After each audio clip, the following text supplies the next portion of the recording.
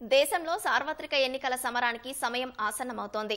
ఎన్నికల తేదీలపై కేంద్ర ఎన్నికల సంఘం కసరత్తు పూర్తయింది. వచ్చే నెలలో లోక్సభ సహా పలు రాష్ట్రాల శాసనసభ ఎన్నికలకు తేదీలను ఈసీ ప్రకటించనుంది. మార్చి తొమ్మిదవ తేదీ తర్వాత ఏ రోజైనా కేంద్ర ఎన్నికల సంఘం సార్వత్రిక సమరానికి శంఖం పూరించనుంది. సార్వత్రిక ఎన్నికల తేదీలపై కేంద్ర ఎన్నికల సంఘం కసరత్తు దాదాపు పూర్తయినట్లు తెలుస్తోంది.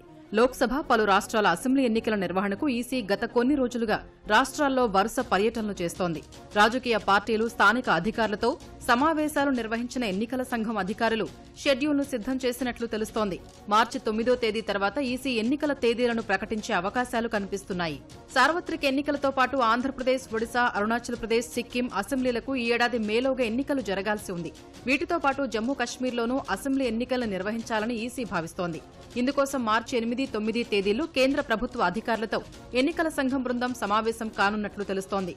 జమ్మూ కశ్మీర్లో భద్రతా పరిస్థితులు బలగాలపై అందులో చర్చిస్తారు. ఆ తర్వాత మార్చి పన్నెండు పదమూడు తేదీల్లో ఈసీ బృందం జమ్మూ కశ్మీర్లో పర్యటించి క్షేత్రస్థాయిలోని పరిస్థితుల్ని పరిశీలించనుంది.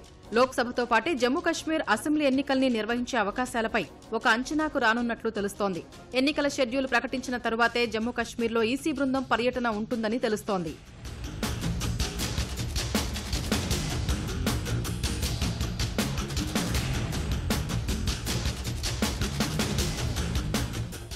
అయితే రెండు వేల ఇరవై నాలుగు సార్వత్రిక ఎన్నికల షెడ్యూల్ రెండు వేల పంతొమ్మిది లోక్సభ ఎన్నికల షెడ్యూల్ను పోలి ఉండే అవకాశం ఉందని తెలుస్తోంది. రెండు వేల పంతొమ్మిదిలో మార్చి పదిన షెడ్యూల్ను ప్రకటించారు. ఏప్రిల్ పదకొండు నుంచి మే పంతొమ్మిదవ తేదీ వరకు ఏడు దశల్లో పోలింగ్ జరిగింది. మే ఇరవై మూడున ఓట్ల లెక్కింపు చేపట్టి ఫలితాలను ప్రకటించారు. ఈసారి కూడా ఏప్రిల్ మే నెలల్లోనే ఎన్నికలు నిర్వహించేలా ఎన్నికల సంఘం ఏర్పాట్లు చేస్తోంది.